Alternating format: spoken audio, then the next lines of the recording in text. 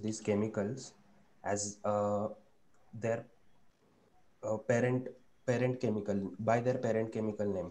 So Yeah. there are actually in chemical tankers two categor- categories category x y z and o- os that is ordinary. So that are pollution at a, uh, according to pollution categories.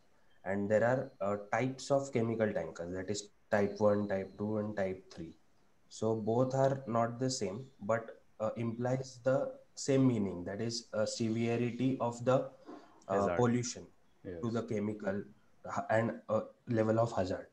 So yesterday someone asked about methanol where it will lie. So it is from alcohol families as we can see here. And alcohol families it is type 2 and uh, y category.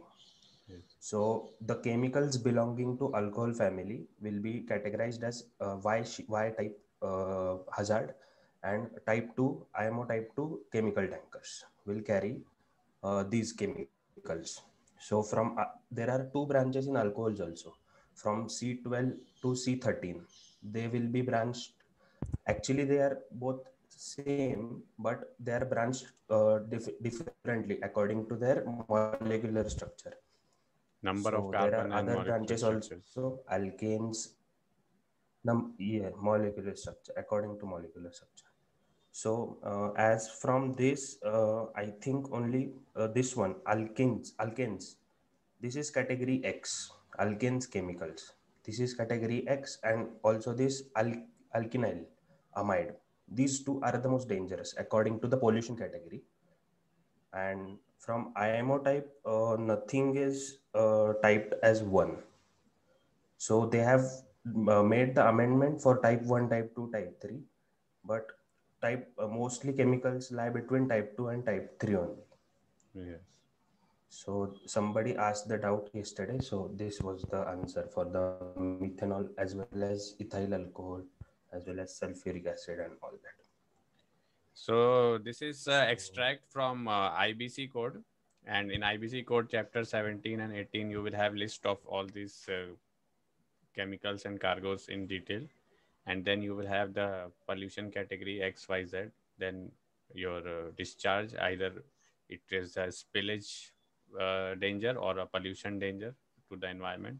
Then type of uh, tanks as per the location, then type of tank 1G, 2G, PG as per the distance from the hull. Then gauging is open or closed, and then some temperature and other requirements, special requirements as per the these things. So these are the categories. So we did methanol. Methanol is category Y. Category Y is also two parts. Either it is solidifying and non-solidifying, or viscous. So of course, uh, alcohol is very well volatile, so it will be non-solidifying. So pre-wash is not required. Some cargoes like palm oil and all, they require pre-wash. That is uh, before discharging to sea, we need to wash and give to response reception facility to some barge or something. So that is the crux of this. And uh, then uh, we did the next cargo, ethyl alcohol will also come in this category.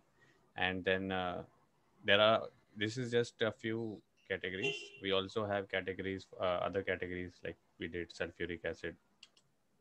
Uh, if you're asking for types, there are three types X, Y, Z, and other substances. X is the most hazardous substances, Y is uh, hazardous substances, and Z is minor hazardous substances. Like isocyanide is most hazardous. Sulfuric acid, palm oils, and some other as uh, alcohols are medium hazard, so they are just called hazardous, and they come in category Y. And then Z is uh, least hazardous. Uh, so, like phosphoric acid, is not that much hazardous to human health and all or pollution. So that comes in category Z. It has got some sediments problem, but it's not that toxic. Then you have other substances like uh, other substances you can have normal, which are which have no environment or no toxic hazard like grape juice, wine, and some uh, food products. They are all other substances. Then you have a tank uh, ship type, IMO ship type 1, 2, and 3. So IMO ship type 1, 2 actually is uh, tank type, but it is called ship type.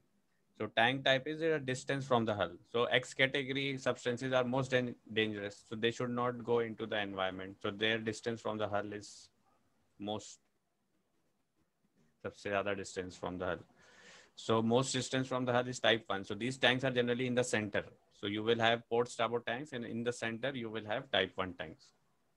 Then type 2 is uh, approximately for some X and Y categories, that is medium hazard. So type 2 is uh, there is some B by 16 or some distance from the hull. And then type 3, which has not don't doesn't have much requirements from the distance of the hull because they are not that much dangerous.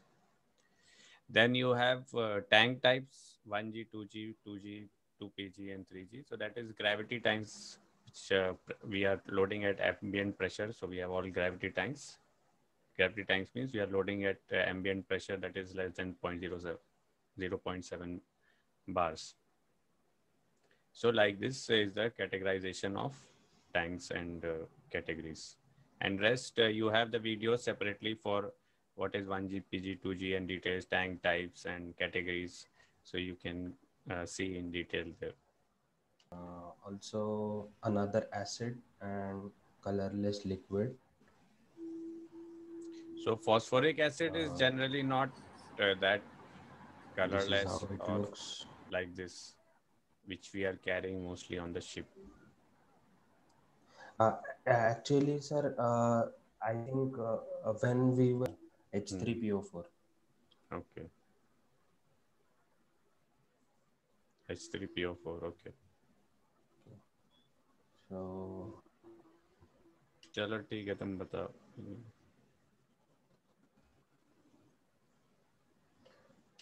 weight by weight. One is this one 85% and uh, one is 95% uh, phosphoric acid.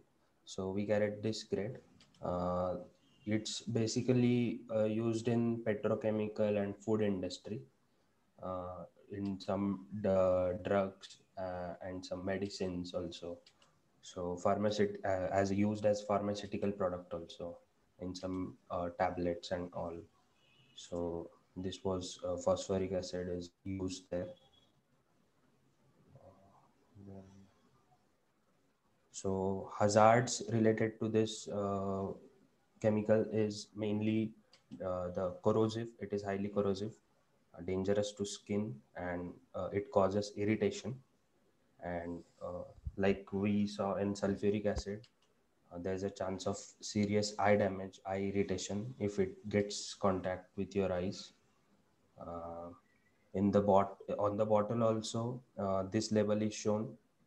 Uh, you can see the sign here that it is highly corrosive to your skin, causes danger, causes irritation, even burns and eye damage.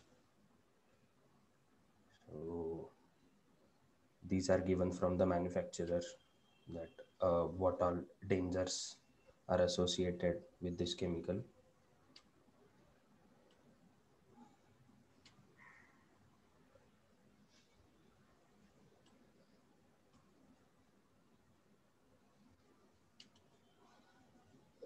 Uh, other hazards are uh, specified as none. So, as I said, only corrosive to skin is the most dangerous hazard. Other than that, it is uh, not mentioned.